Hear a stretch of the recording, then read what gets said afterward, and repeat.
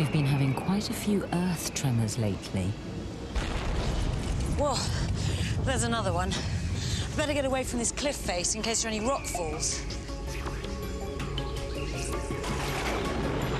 I hope the plane's all right. With these earth tremors and the volcanoes smoking more each week, I think the time I can safely stay here is running out.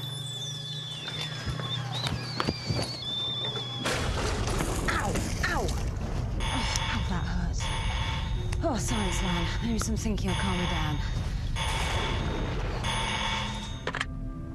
How can I help? Stella, we've been wondering, how come we can be surprised? Yeah, and why do we jump if someone pops a balloon behind us? Right, but when I saw it being popped, I didn't jump. And why do we turn towards what surprised us? And why do our eyes grow big? And what about cold shivers down our spine? What's that all about? Life's full of surprises, isn't it? I've got to think about this one. I'll get back to you. What we're going to have to do for this one is to make sense of senses. Now, it's important for all organisms, plants, animals, and us, to be aware of our surroundings and be able to respond to any changes in it. And it all comes down to survival. Now, this can be as simple as noting a drop in temperature and knowing when it's the right time to put on extra clothes, or as important as sensing danger, like me a few minutes ago.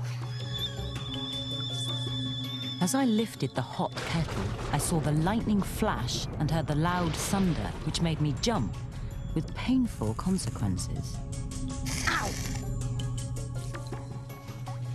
Now, I hope Howie's sensors are working well, because I think he's going to need them in this investigation.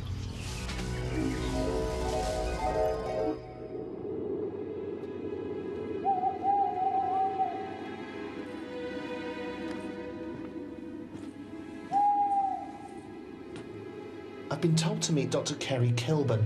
He wants my help in an experiment that'll investigate how my senses work. I hope this is the right place.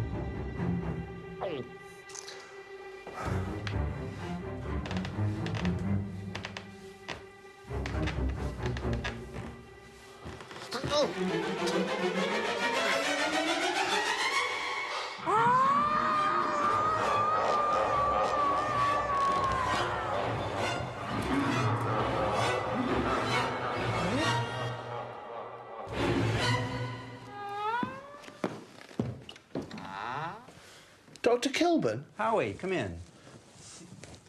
Nice place you've got here.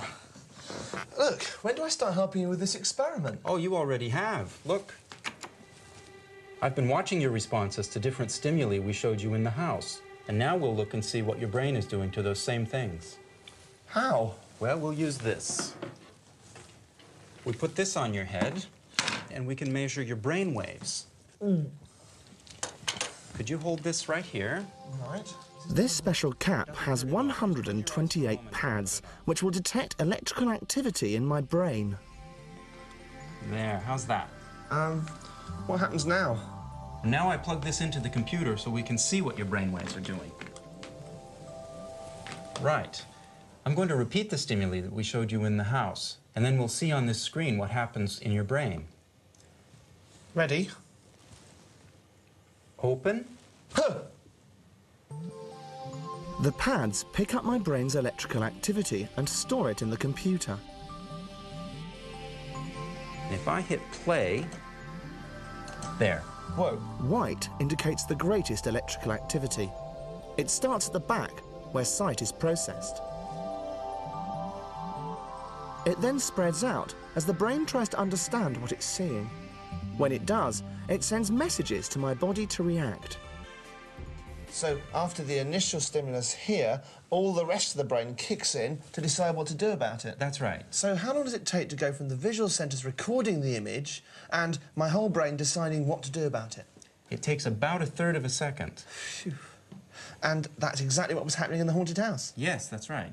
Look, you saw the candles and shadows. Your brain worked out that this is probably dangerous, and it told your body to get you out of there. Now let's look at touch. Reach forward with your right hand. Oh, slime. Now, let's see what happens. We're looking here at the left side of your brain. The left side of the brain is where touch is first registered. Again, the brain has to think about what it's touching to work out whether a reaction is needed. And then the action moves very quickly to other parts of the brain. I see. So really, it was just like the cobwebs I ran into in the house. That's right. Look. You felt the cobwebs. Oh. You remembered you were in a scary place, and you reacted. That's brilliant. Well, I guess that's it. I really feel I know it all now. I better be off. Not so fast. There's one more sense to test.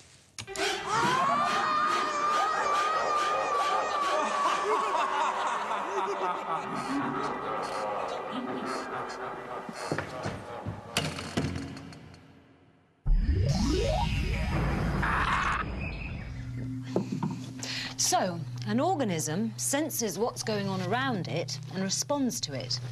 And for animals and for us, this response is usually a movement, either by part of the body or the whole body. But whatever the movement is, it's caused by the muscles. Looking inside a running knee joint, the muscles that cause movement are attached to bones. They're called skeletal muscles. So it's skeletal muscles that move your body, and they work in pairs. Now you can feel two of these working together when you bend and straighten your arm. You can see it with this model. To bend your arm, the biceps contracts. It gets shorter. You can see it bulge and harden. The triceps relaxes. As a result, the biceps pulls the bones together and the arm bends. To straighten your arm, the opposite happens. The triceps contracts and the biceps relaxes. This pulls the bones straight.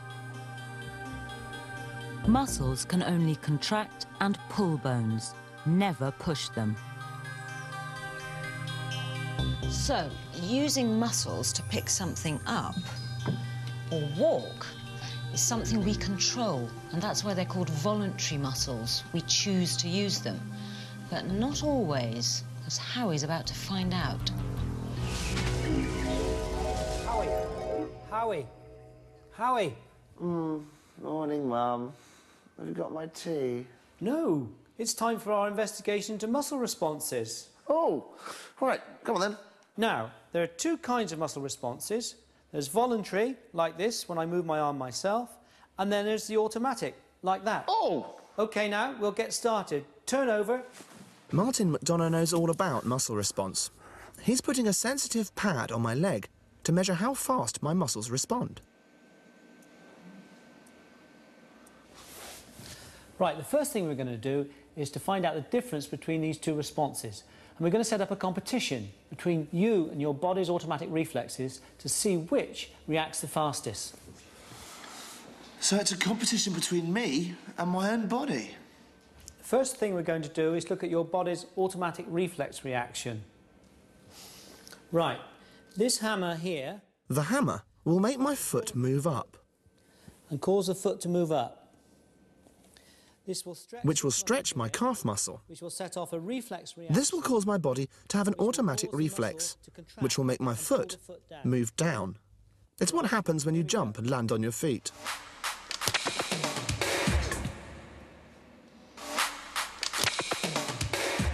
As the hammer makes my calf stretch, a sensor in my muscle sends out two messages. One goes to the reflex movement center in my spine. This sends a message back telling the muscle to contract. That's the automatic response. The other message goes to my brain to tell it the muscle's been touched. But I'm choosing to ignore that for now. Let's have a look at the results. Okay, this is where the hammer struck your foot, and this is your muscle's reflex response here. The graph shows that the automatic response took 40 thousandths of a second, 40 milliseconds.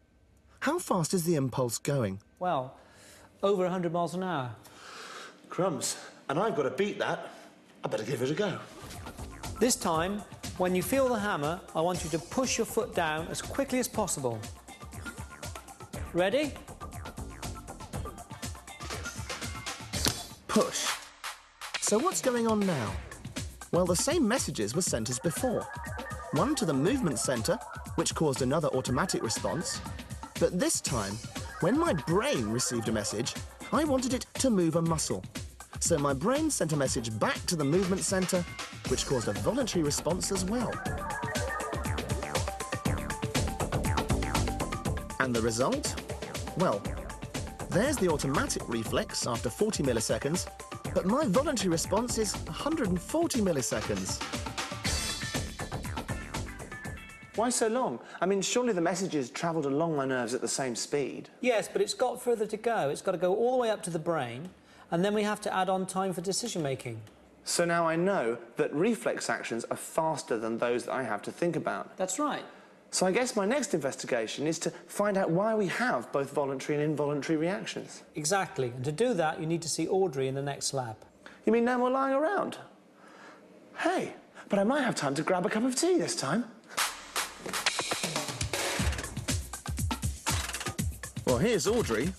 What's she up to? Hiya. So, Audrey, how do you test for an unexpected stimulus response? Well, what I'd like you to do is jump from this platform down onto this blue surface. And while you do that, I'll measure your muscle activity. Yeah, but that's hardly unexpected, is it? I can see it. And because I can see it, I can prepare my muscles for landing. Yeah, but there's a surprise element. Mm. What Howie doesn't know is that this blue surface is really a false floor, and the real floor is 25 centimetres below. What was that? Nothing. Off you go.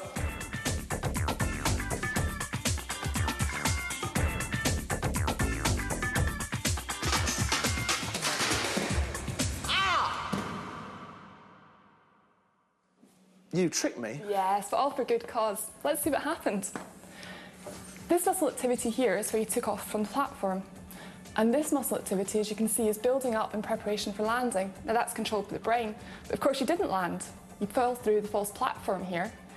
And so what happened is the muscle activity switches off until you do touch down when you get this very big reflex coming in to save you.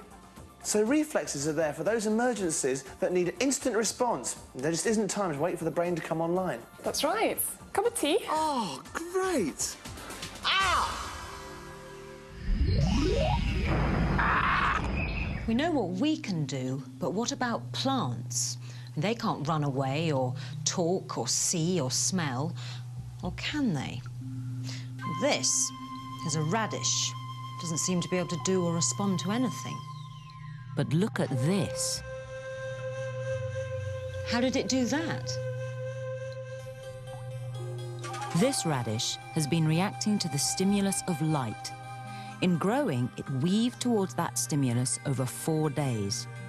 Many plants respond like this, but it happens so slowly you don't notice.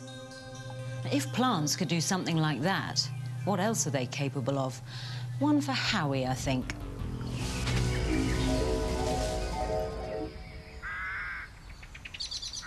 I'm here to meet Dr. Jennifer Miller.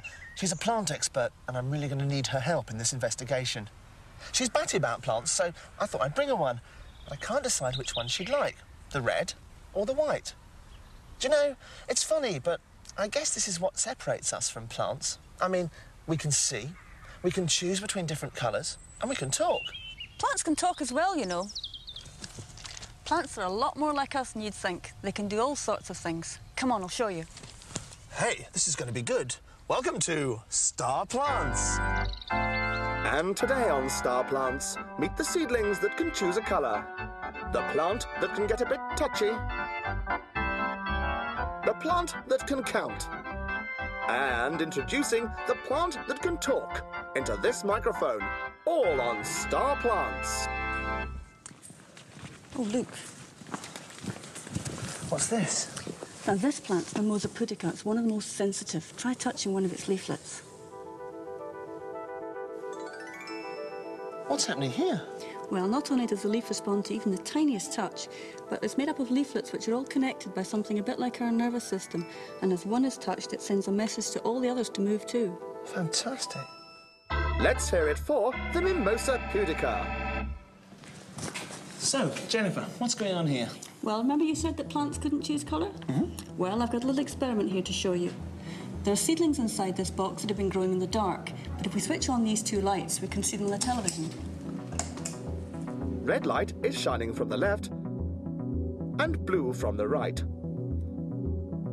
The small camera connected to the television shows that the seedlings are growing straight at the moment. Well, what's going to happen? Ah, wait and see. We'll come back in a while. Time to visit the Venus flytrap. Right, what's this one going to do? Well, you'll have to look at it really closely. Inside these special leaves, there are three hairs on each side. Can you see them? Yeah. Try touching one with your probe. These are the special hairs that are the trigger for the plant to close on an insect. Try it. Oh, nothing's happened. What, is it full? Try again.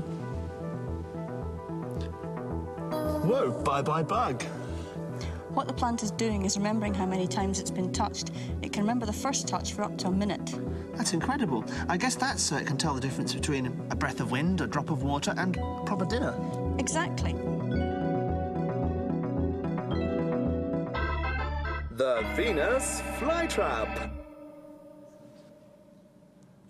Next, a plant that can talk? Jennifer, you're recording a plant. What can that possibly tell you? It can tell you quite a lot, actually. It can tell you if it needs a drink. There are tubes inside the plant stalk that break when they get dry, and we can pick them up on this ultra-sensitive microphone. Listen.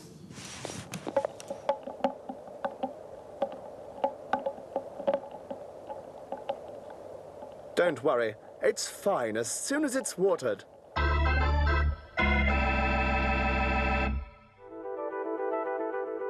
Now, what about those seedlings? Which colour did they choose?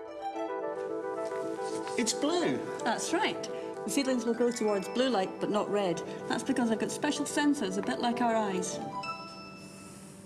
Star plants. I thank you.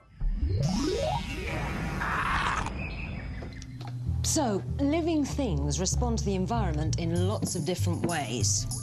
Now, here's one for you.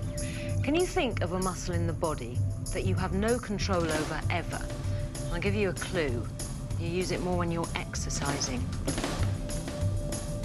It can't be the muscles in your arms and legs. You can easily control them. Hang on. When you exercise, you get out of breath. So could it be the muscles which make the lungs work? You can still control them by breathing deeply. Well, that's enough. I give up. Yeah, my heart's thumping. Oh, and mine.